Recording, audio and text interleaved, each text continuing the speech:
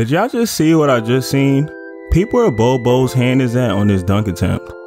He damn near just touched the top of the backboard and it looked like he barely jumped. When I seen this, I was like, oh yeah, I have to make a video about him. He's been looking really good during practice with the Nuggets. They already got a steal in Nikola Jokic when they drafted him with the 41st pick. Now it's looking like they're about to get another one.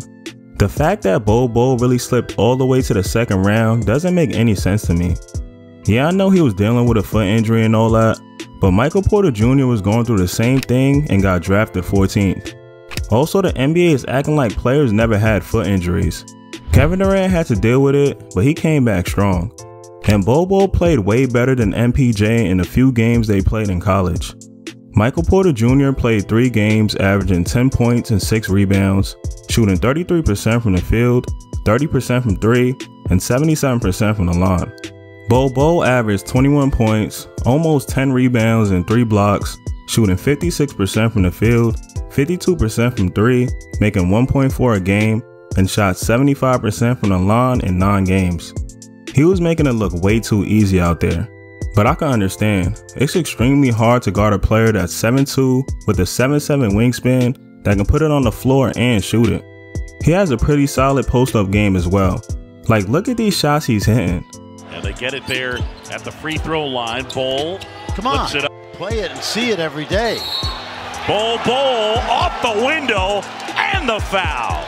And last night against Iowa for the Ducks. These are really tough shots.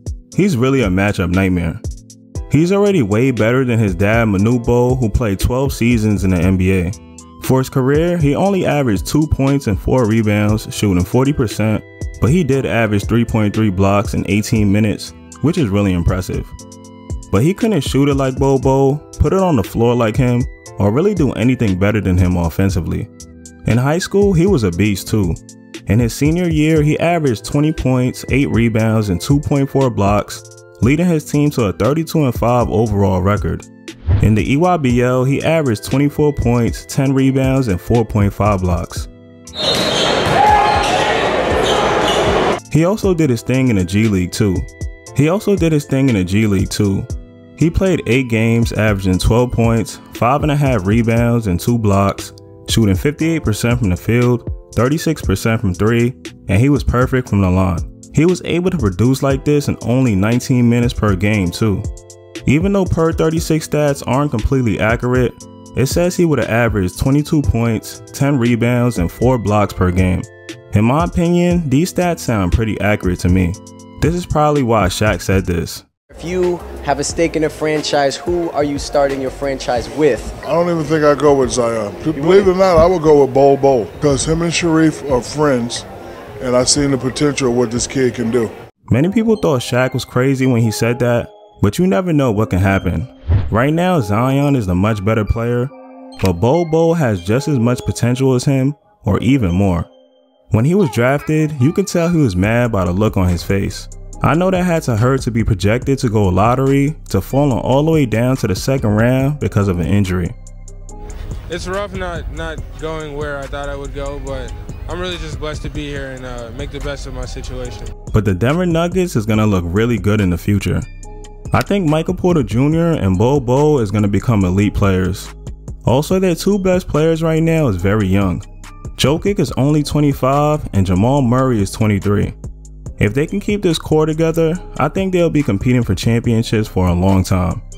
Just imagine a starting five with Jamal Murray at the 1, Will Barton at the 2, Michael Porter Jr. at the 3, Bol Bol at the 4, and Jokic at the 5.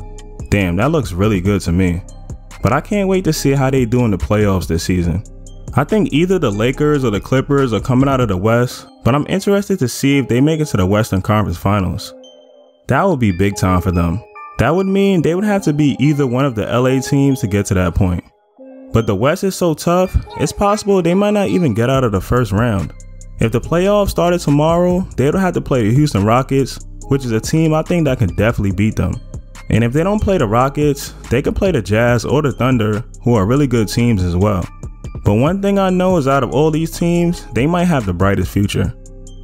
I truly believe Bol Bol and MPJ will become stars, but only time will tell. Let me know what you think in the comments. And if you like this video, make sure you hit that like button and subscribe for more vids. Peace.